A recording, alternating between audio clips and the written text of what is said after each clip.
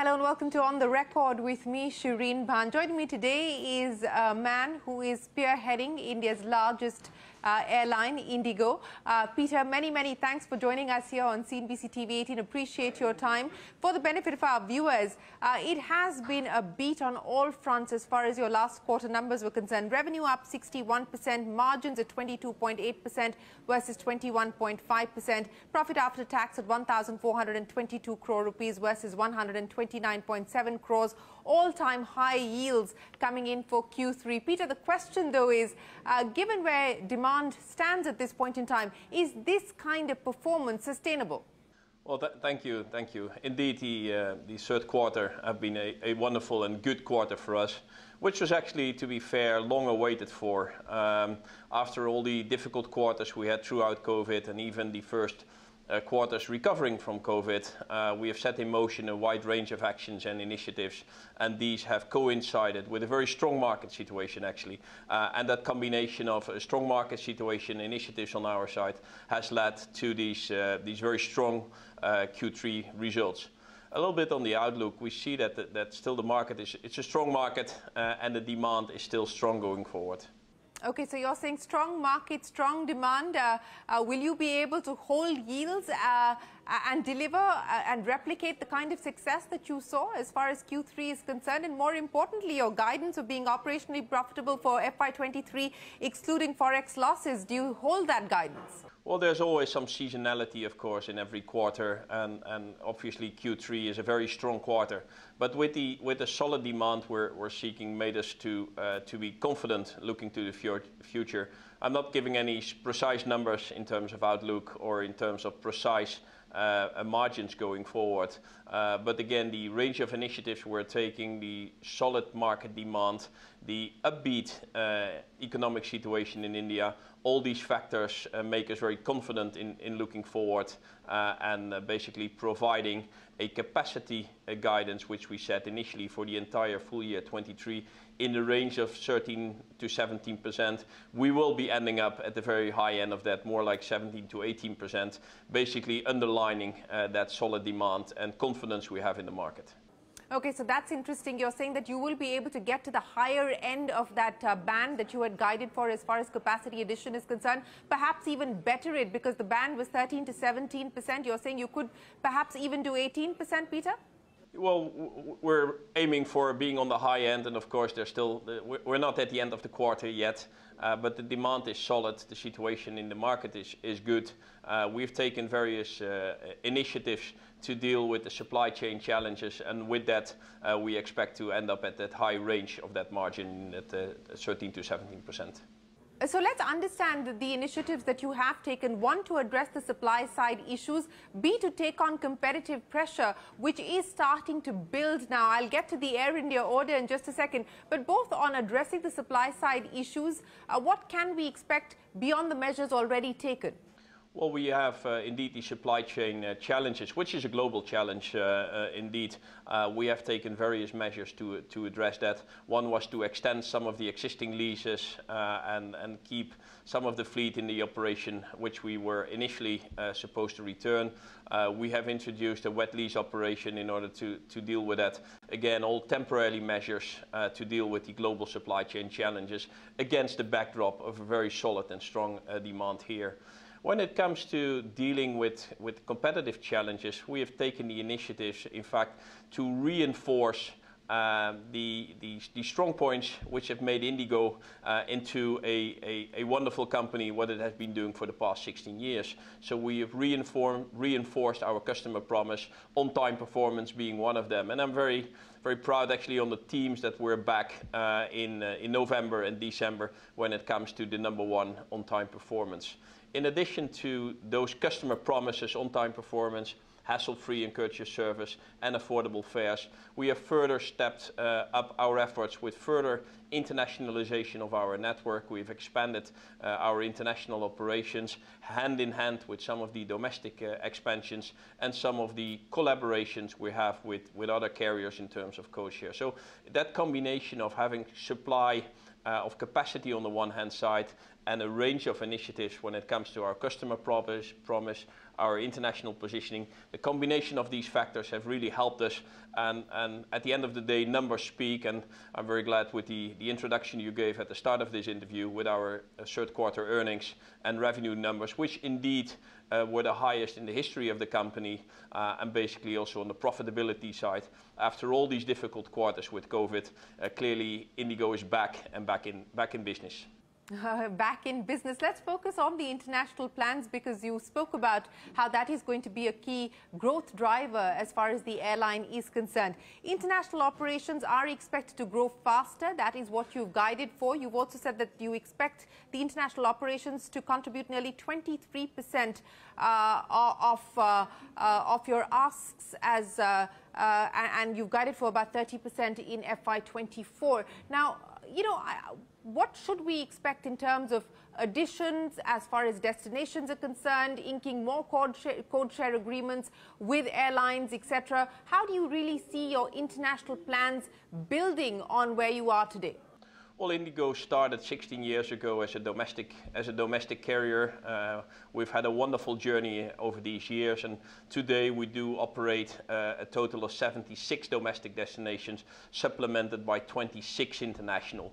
So if you look to today's composition in terms of destination mix, it's about uh, 25, 20, 25% um, is on the international side, and there's there's 75% uh, on the domestic side. When it comes to our total production numbers, it's it's even slightly less. It's more in the range of 20ish percent we do international with the growth of India, with the economic development of India, with the position India is taking more and more on the global stage, and with foreign investments coming in and in Indian manufacturers making products here and exporting them, uh, we, we do see clearly an international growth which is, which is stepping up. Um, and in addition to that, the share of Indian carriers in the international uh, traffic, uh, we believe still has a lot of room to, to improve and to increase that share. Looking at the position of Indigo for that, these 26 destinations will grow going forward. We've added a couple of destinations in the year 22. We're eyeing now for the year 23 to open up destinations such as Nairobi, Jakarta, and we're reviewing some Central, uh, Central Asia locations.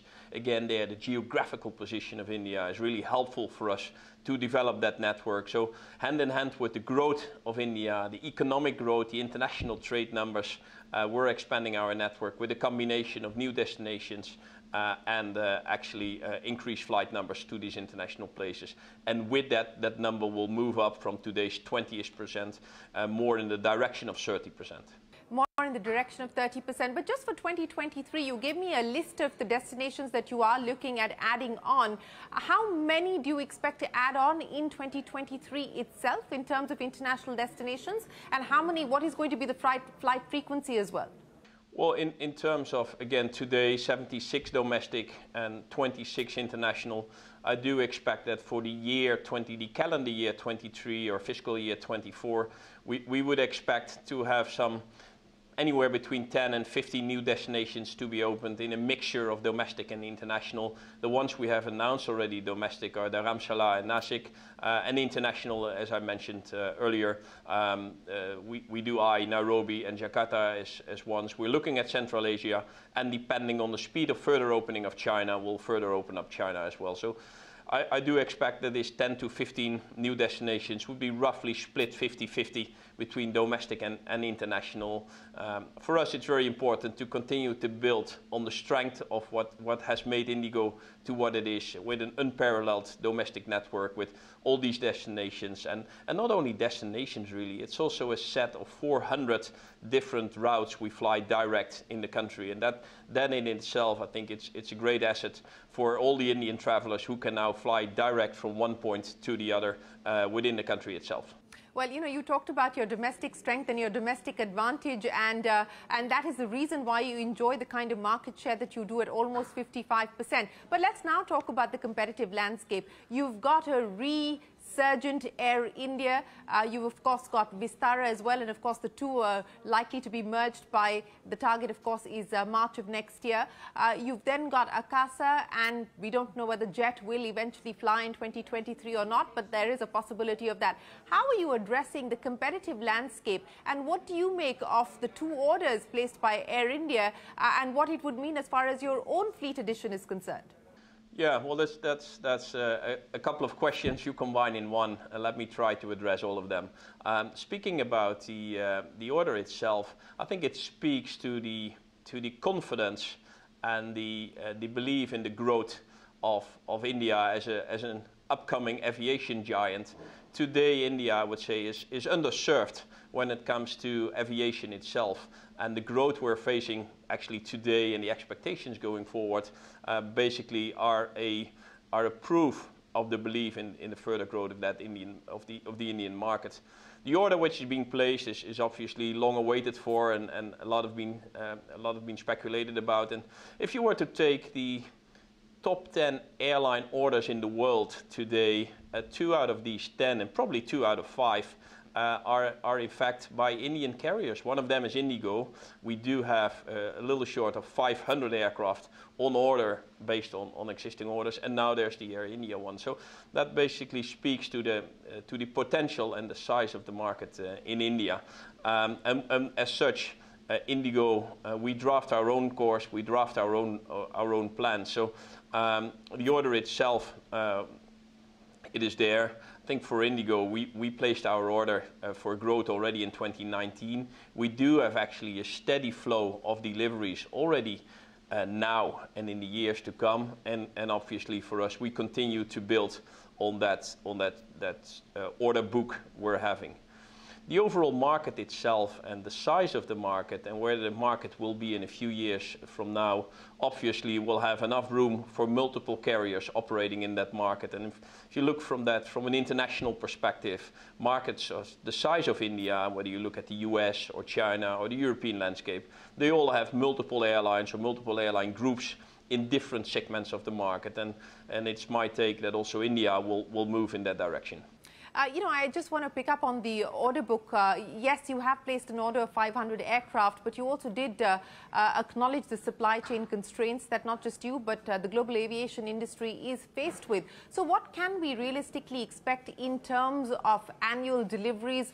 What are you hoping for in terms of deliveries in 2023 to start with? You also spoke about some of the temporary measures like the wet leases, etc. again, on that front, what can we expect in terms of fleet addition for the calendar year? Well, we, we, we are uh, still assuming a steady influx of, of aircraft. And if you look just to the, the number of, of, of aircraft we're having uh, and the actual size of it, um, we're, we're, in discussions, of course, with suppliers, what's going to be the precise moment of deliveries and so on. Yet we still do expect uh, a 40 plus set of deliveries uh, for the year 23 to come. And we've given some capacity guidance uh, uh last week, which is in the high mid-teens uh, when it comes to our, our growth projections uh, for the year 24. Um, when it comes to dealing with the supply chain, I think we're in a good position as, as Indigo that we do have a couple of leases uh, where we do have flexibility for lease extensions in order to deal with the, with the supply chain issues uh, as, as it's our objective uh, to accommodate uh, the strong demand we see in the market.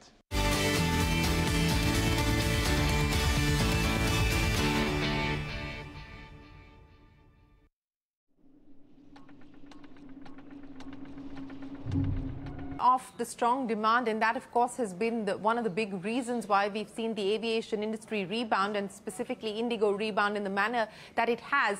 Uh, in terms of pricing, uh, and while so far, uh, you know, in terms of uh, pricing, we haven't seen any irrational uh, exhibition of, uh, of pricing on display. That's the sense that we get. Is the expectation that that's likely to continue? What's your belief given the competition at this point in time? Well, I, I guess uh, competition pricing is up to competition to react on that. Uh, when I look to the to the third quarter, uh, we had actually a pricing situation where, for us, we we could we could benefit uh, from the increased demand and make sure that we had some pricing stability. there's always going to be fluctuation in terms of high season and low season and, and, and peak and, and, and slower, slower times. That's always there. Um, but I think it's important for the market in India, and as such, uh, the, uh, the consolidation taking place under the umbrella of Air India speaks, I guess, to the further consolidation and, and the maturing, if I may use that word, of the Indian aviation market, where uh, you get a more stable situation, which eventually is good for, for everyone, uh, and especially co the consumers in having a bit more predictability in uh, what's directions and what's pricing.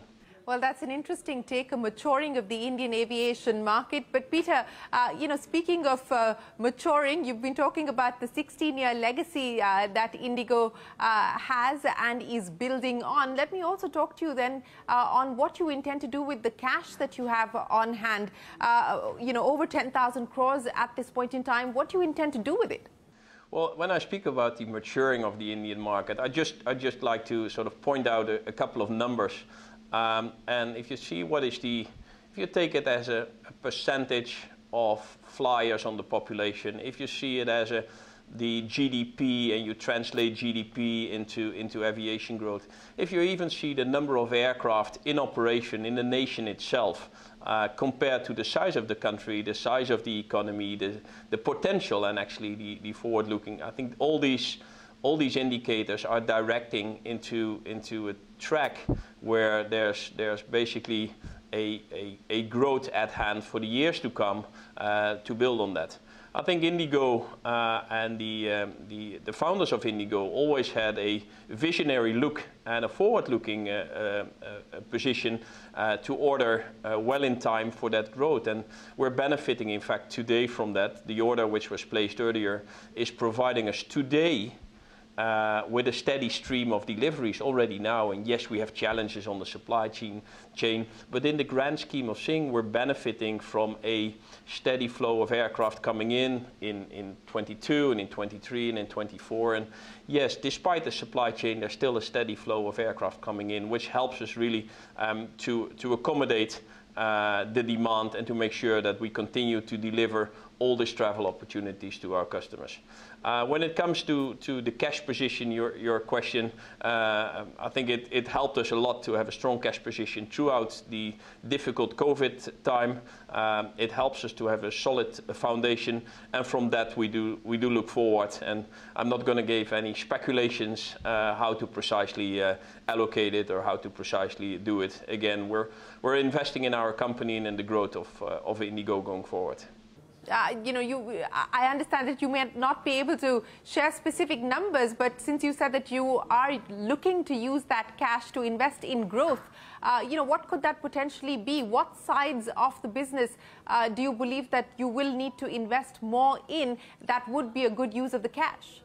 Well, again, the very core of Indigo is to continue on what we have, what, what has been the success of Indigo for the past 16 years, and to grow from a, a, zero basis to 300 aircraft in operation, uh, which we, the milestone we achieved in January. I think there's no, no uh, airline in the country yet which has achieved that 300 aircraft milestone. Uh, and that, of course, requires a lot of dedication, a lot of professionalism. So we continue to in invest in that part. And again, I, I wouldn't like to go into all the cash details, if you don't mind. Sure, I understand. Uh, uh, you know, you spoke about the promoters and you spoke about uh, the promoters having the foresight to have placed large orders, and that has been part of Indigo's history. Uh, I, I, don't know if you can answer this or not, but this is certainly something that the market uh, does see as an overhang on what Mr. Gangwal intends to do with his uh, remaining stake in the company and whether there is any clarity on offloading that stake. Well, that, I would say that's totally up to him and the uh, the understanding which which uh, which which there is, and and I, I would not be able to to comment on that. Uh, that's really up to uh, to the shareholder himself what to do with that. Uh, fair enough, Pieter. So let me end then by asking you, uh, you know, given uh, where demand is, given the outlook for growth at this point in time, what about hiring plans? Uh, you know, it was a difficult period for the aviation industry through COVID. Uh, now that we have seen demand stabilize and go back to uh, pre-COVID levels, what's the outlook as far as hiring is concerned? Well, yeah, that's, that's, that's a very valid point. And if you take a bit more a global approach there, a, lot of, a lot of carriers have been, have been challenged with the return of travelers and with the sort of return post-COVID at Indigo, and I would say that speaks to the agility of the company. Uh, we have been able to, to step up our, our flights and, and our production really after all the, the bad COVID uh, time.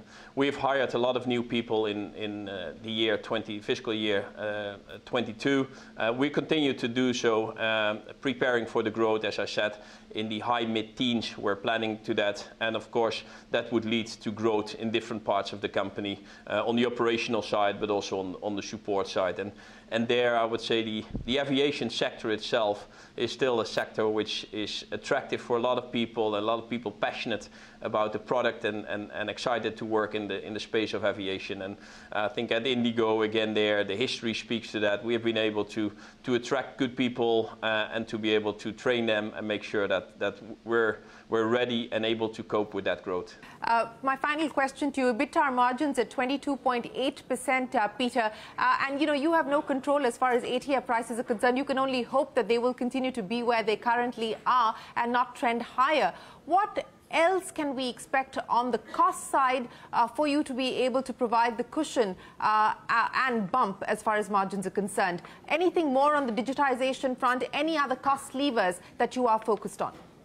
Yeah, um, well, you, are right on the ATF side. There's, there's only so much you can do uh, as an airline uh, on, on, that. I think some of the recent um, um, ATF tax uh, adjustments in some states have been very helpful uh, when it comes to development of aviation. I think some of the, the overall policies when it comes to supporting aviation, uh, the opening of new airports. So we have seen uh, quite a few of these policies being very uh, effective to stimulate aviation. And as we all know, aviation and economic uh, developments really go hand in hand. And at some places where we open new flights, we see that the economic uh, uh, effects and the economic uh, aftermath of that are really very, very positive.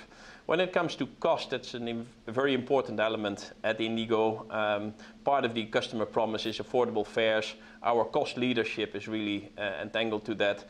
So we are taking, as always, a very close eye on, on our cost and the cost levels. We continue to do so. Our fleet plans with all the fleet renewal, of course, are helping us to operate um, the most efficient fleet.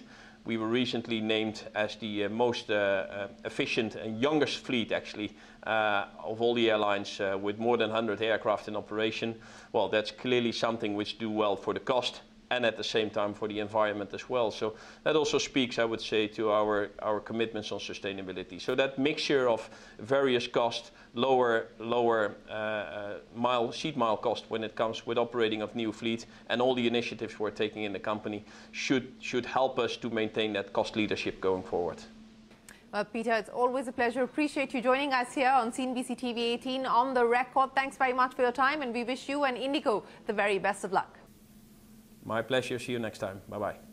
Thanks very much. With that, it is time for us to wrap up this edition of On the Record from all of us here. Goodbye. Many thanks for watching.